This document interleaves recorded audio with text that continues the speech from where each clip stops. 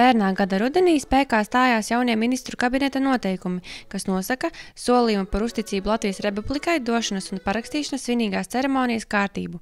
Pirmā svinīgā ceremonija notikusi arī Madonā. Valsts vēlē, vēlējās uzsvērt, ka ir, mums ir svarīgs katrs pilsonis. Un, lai šo, šo nozīmīgumu, kad pilsonis ir svarīgs, tad deputāti lēma, ka šo svinīgo solījumu, kuru kādreiz tikai parakstīja uz vietas nodaļā, tagad viņš sniedz svinīgā ceremonijā. Vitālijas Latvijā dzīvo visu mūžu, taču pirms dēla piedzimšanas nejūta vajadzību kļūt par Latvijas pilsoni. Man dēls piedzima. Viņš ir pilsonis, sieva pilsone, es neesmu. Drīz ies uz skolu, bet bērni, nu bērni kā ir bērni. Nu, vajadzēja nokārtot to. Uz doto brīdi Madonas novadā dzīvo aptuveni 1000 nepilsoņu, 25 tūkstoši pilsoņu. Pēc pilsonības un migrācijas lietu pārvaldes padomus nodaļas aplēsēm novadā vidēji septiņi cilvēki gadā kļūst par Latvijas pilsoņiem. Motivācija pilsonības iegūšanai ir dažāda. Mēs jau īsti nezinām, kas notiek viņu galvās.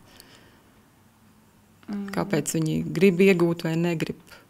Nu, ja viņi ir spēruši šo soli, tas nozīmē, ka viņiem ir vēlēšanās kļūt par Latvijas pilsoņiem.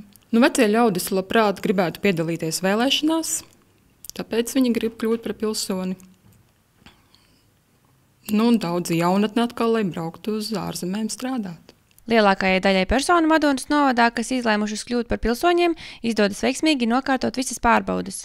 Taču daļa aizvien baidās gan no latviešu valodas eksāmena, gan no vēstures zināšanu pārbaudēm. Nu, mēs priecājamies par katru, ka kāds atnāk. Mums kārto, tie, kas ir kārtojuši eksāmeni, pārsvarā visi noliek, teiksim, kas ir no Madonas. Jo viņiem ir jābrauc eksāmenis kārtot uz Jēkabili, pie mums Madonā nevar.